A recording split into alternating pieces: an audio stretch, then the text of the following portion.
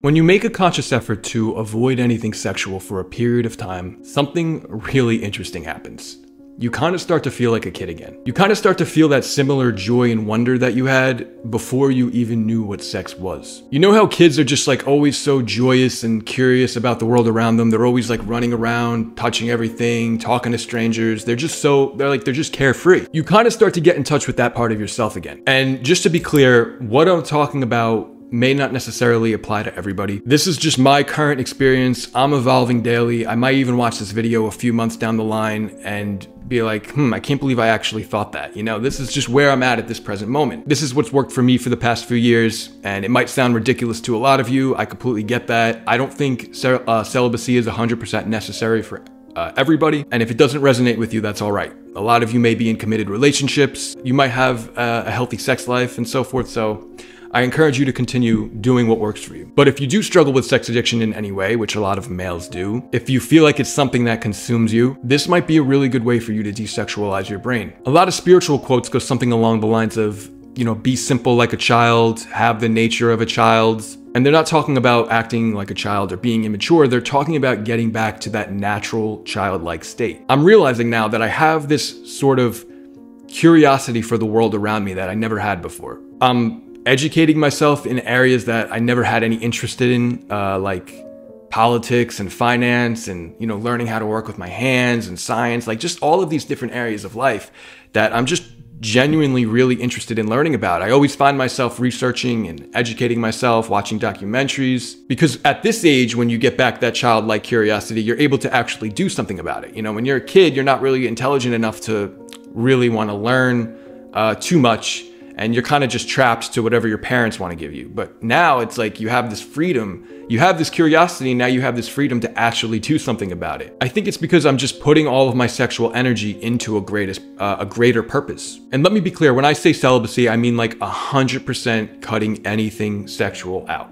for a period of time. It doesn't have to be for the rest of your life. Why do you think some of the most prolific inventors and scientists and writers, philosophers, etc., uh, many of them lived like hermits because and i think it's because they had such a passion for life that wasn't undermined by just these carnal desires you know? Uh, i mean some of them were probably a little awkward and struggled socially. That probably played a role as well because they were so intelligent. And i'm not advocating that uh, everybody go live like a hermit. That's that's not necessary. It's not healthy I don't think we're supposed to live like that. Uh, you definitely should actually work on your social skills. I think that that should be a main priority for everybody. When it comes to forming any type of healthy relationship with anybody, that's going to be the basis for it. And I think a lot of men are kind of deluded uh, in this area and they focus too much on the wrong things. Like they focus way too much on the, the fitness and the money. And that stuff's important, but you know, without being able to communicate effectively, you're not really going to be able to form a relationship with anybody. It's the most important trait that you need to build, but it's also the hardest. And it's definitely difficult in this day and age. It's not really our fault. You know, we are very disconnected. COVID was no help, and now everything's just like on Zoom, everything's online, just more and more technologies coming out every year. Uh, but we kind of have to take responsibility and accountability. You know, we can't just sit and play the victim. Uh, that's my opinion on that anyway. But anyway, back to the main point about celibacy. When you choose this path, the path to be celibate, meditation is going to be absolutely key. Because when you start getting in touch with your higher self, your true self, that connection is what gives you that childlike zest for life. And you get that through deep contemplation and meditation. And you have to really dedicate yourself to meditating. Like I'm talking 20 to 60 minutes every single day, just you sitting down completely alone just you and your breath and nothing else. Okay, you can't half-ass this. I'm telling you guys, this is absolutely life-changing. I can't stress that enough. What the type of celibacy I'm talking about here is mostly going to work for people who are voluntary, voluntarily celibate, voluntary celibate, meaning you're making a conscious choice to do this. You know that you could have sex if you really wanted to, but you're making the decision to abstain from it. Involuntary celibate people, uh, you know, the incels they I feel like they tend to have a sense of lack in them. Because when you didn't receive something in childhood or young adulthood, you're going to unconsciously chase it when you're an adult. So, for example, a lot of these rappers who grew up very poor, they love to flaunt their money and their wealth around because it's something that they didn't have when they were uh, a kid. Or another example is maybe somebody who you know, didn't get enough attention or healthy praise when they were kids. Maybe they were a bit neglected. So now they're going to constantly try to be noticed when they're adults. They're going to uh, constantly try to like do things for attention, climb the corporate ladder. They really want to be respected by everybody, right? That's another example. Well, the same thing goes for sex. If you dealt with a lot of rejection, uh, didn't receive that sort of validation from the opposite sex in your younger years, it may be something that's going to sort of eat away at you. And it forms a lot of very unconscious behavioral patterns that sometimes we aren't even aware of. Because you see, what, what all of the, the incel types have in common? They're all very, and not all of them, I'm kind of generalizing here, but they're all very kind of like angry and they're full of hate and they isolate themselves away from society. So if that's something that you're going to going through, then I suggest you deal with that first. You need to learn to love. That's going to be the antidote for this. You have to learn to love yourself. You have to learn to love uh, humanity in general.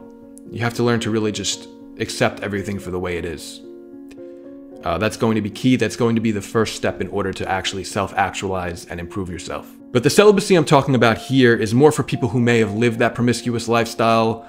Uh, maybe they chased sex for a while and realized it just left a really empty void in them. Um, that's kind of what happened to me. But when I made a conscious effort to stop chasing it completely and to stop indulging anything, indulging in anything related to it, including my own thoughts, that's when I really started to evolve spiritually. It's when I truly learned to love and accept myself. Again, is celibacy 100% necessary for this?